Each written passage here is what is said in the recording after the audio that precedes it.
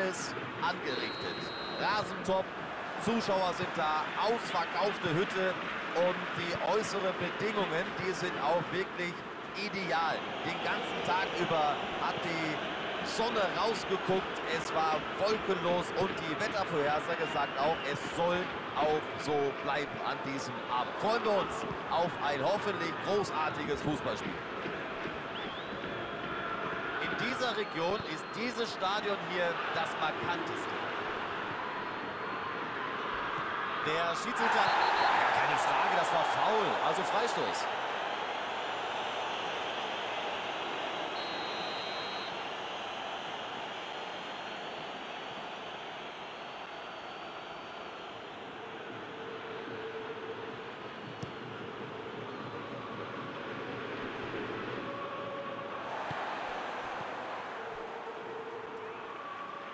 Und da ist der Pass. Alexander Arnold. De Bruyne. De Bruyne. Dreh stehen einfach nach vorn. Johann Cruyff. Cristiano Ronaldo.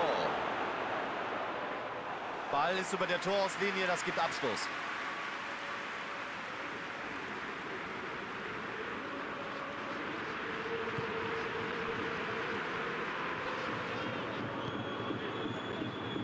Hier ist Messi.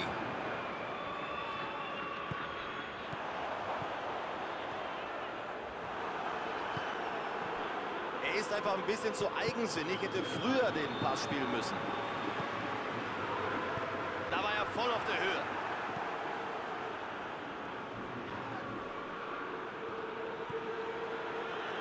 Mit dem Pass stehen sie sich selbst im Weg. Das ist bei ihm das Problem im Aufbauspiel. Es fehlt die allerletzte Präzision im entscheidenden Moment des Passes. Ein Lupfer, ja, jetzt da und Tor! Ein wirklich brillantes Tor.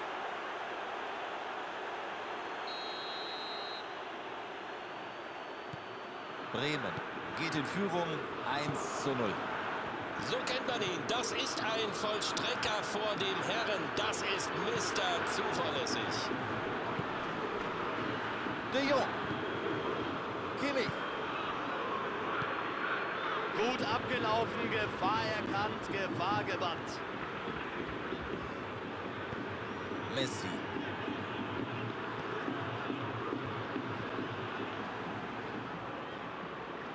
Das ist sehr anständiges Pressingverhalten. Kreuz. Gut geklärt von Laporte.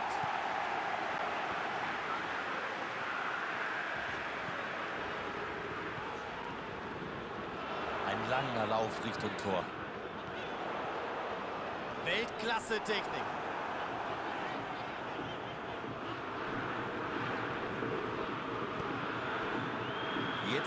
Ist Übersicht gefragt.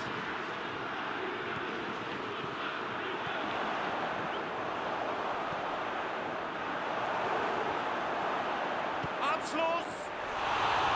Ganz knapp am Tor vorbei. Den hat er verzogen, wirklich Pech gehabt in dieser Situation.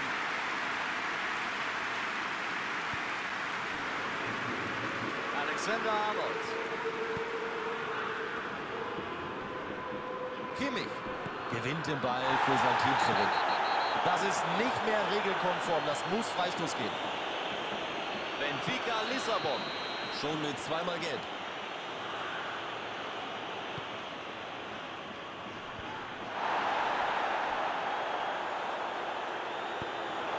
Cristiano Ronaldo. In einer für ihn ganz undankbaren Situation. Er steht mit dem Rücken zum Tor. Daraus was zu machen, das ist schwierig. Vor allem, wenn die Verteidiger so gut aufpassen wie hier.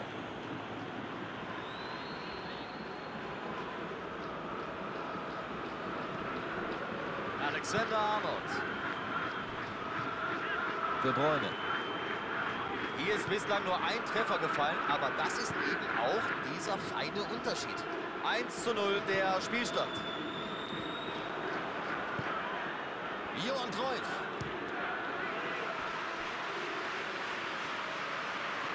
Das sind natürlich genau die Situationen, die ein Stürmer nicht liebt. Mit dem Rücken zum Tor, der Gegner ist dran. Das konnte nichts werden.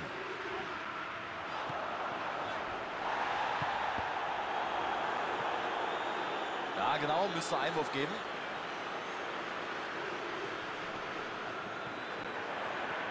Er, er zieht durch. Glanzleistung des Keepers. Es gibt eine Menge Torhüter, die diesen Ball nicht gehalten hätten.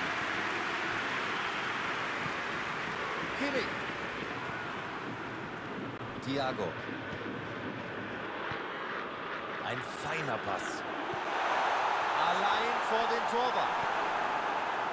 Alexander Arnold. De Jong. Eben ja schon Assistgeber. Hier ist Müller. Genauso läuft man den Gegner heutzutage an.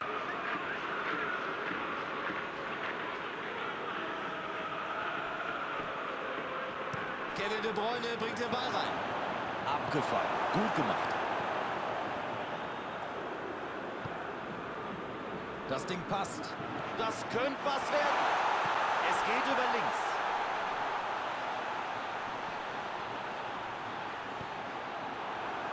Benfica Lissabon fordert die Ecke und der Schiri sieht's genauso.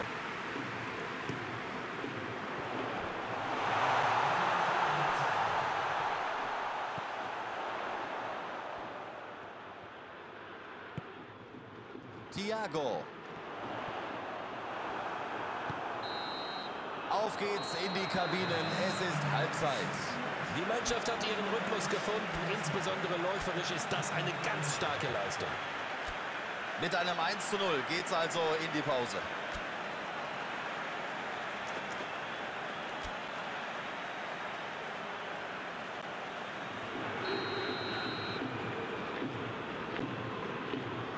Der Start in die zweite Hälfte.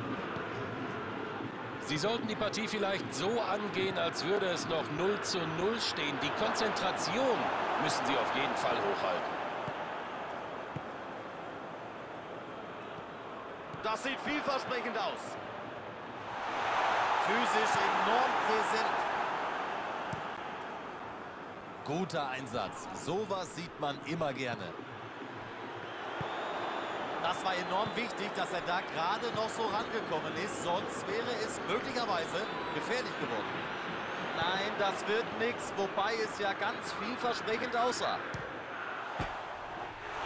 Ab in Richtung Tor. Da haben sie am Treffer geschnuppert. Na, vielleicht erarbeitet er sich ja nochmal die nächste Chance. Hier hat er einfach nur Pech gehabt, dass der Ball nicht im Netz, sondern am Pfosten landete.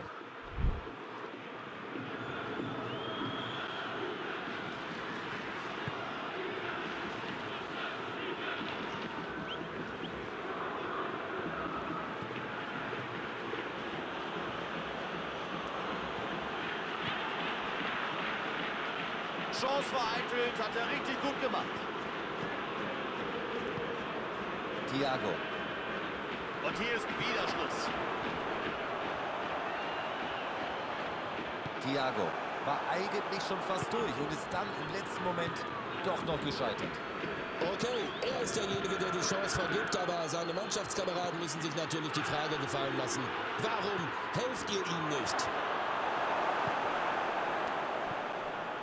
Thiago. Er hat ihn einfach stehen lassen. Sauberer Vorstoß, aber am Ende haben sie ihm doch einen Strich durch die Rechnung gemacht. Johann Cruyff. Und er läuft und läuft und läuft und läuft.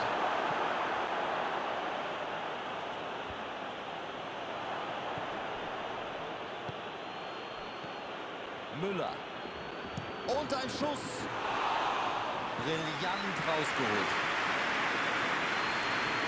Die rennen ja immer wieder wie gegen eine Wand. Man spürt Müller.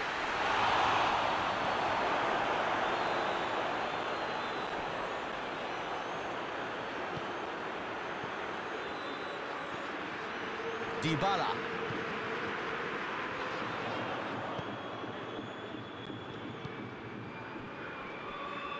Und der Ball ist futsch.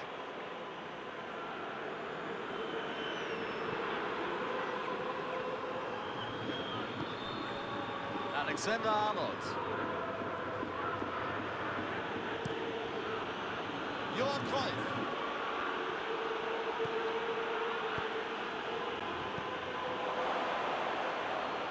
Die Chance. Junge, Junge, da fackelt er nicht lange. Knapp vorbei. Da hat er keine Sekunde gezögert, ist sofort zum Abschluss gekommen. Das hat er gut gemacht. Aber er hat es nicht gut genug gemacht. Er hat ihn auf dem Fuß. Das könnte... Der ist drin. Sie spielen sich schon in einen kleinen Rausch. So eng sie ihn auch zu decken versuchen, sie können ihn nicht am Schuss hindern. Von seiner Kategorie gibt es nicht viele. Er ist eng gedeckt, aber wie er seinen Körper da einsetzt, das ist eine Augenweide. So ein Tor machen wenige.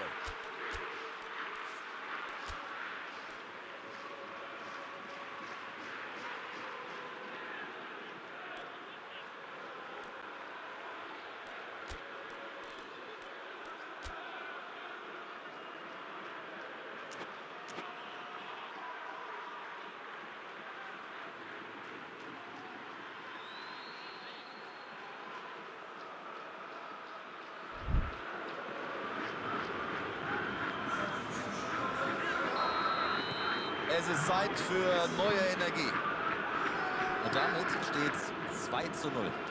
Sie haben durch das zweite Tor zusätzlich an Dominanz und Selbstvertrauen gewonnen. Jetzt müssen Sie das Ding nur noch nach Hause fahren, indem Sie entweder einen Treffer nachschieben oder hinten dicht machen. Bin gespannt, für welche Strategie Sie sich entscheiden.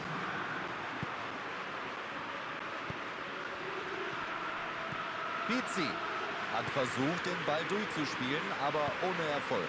Das war einfach schlampig. Sie müssen definitiv an ihrer Präzision arbeiten.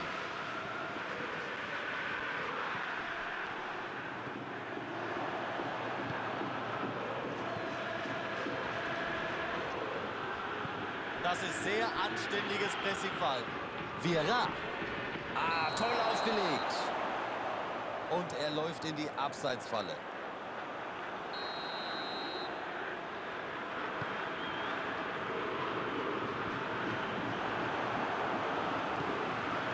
Zum richtigen Zeitpunkt zur Stelle.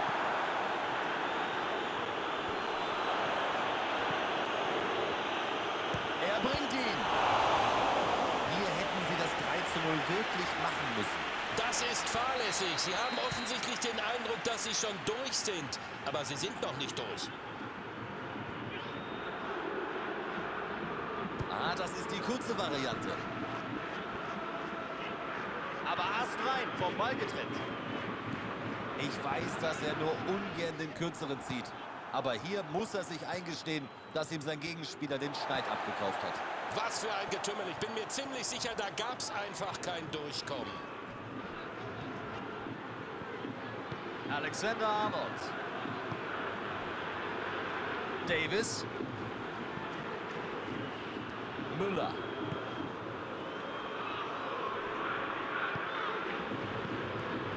Vieira.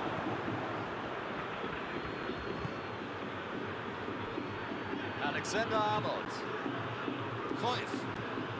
Er streckt sich und kommt an die Kugel ran. Findet er ihn? Er könnte zum Tor ziehen. Johann Cruyff mit der Flanke. Alexander Arnold haut die Kugel nach vorne. Und der Schiedsrichter macht dem Ganzen hier ein Ende. Eine richtig gute Leistung spiegelt sich heute im Ergebnis wieder. Das Team hat ganze Arbeit geleistet. Hansi, komm, deine Einschätzung. Da hat der Trainer sich vorher seine Strategie zurechtgelegt. Er hat gesagt, heute verteidigen wir mal ganz hoch. Und darum ist es auch ein Sieg der richtigen Strategie. Wir verabschieden uns. Hansi, was hätte ich ohne deine Expertise gemacht? Herzlichen Dank dafür. Immer wieder gern, Marco.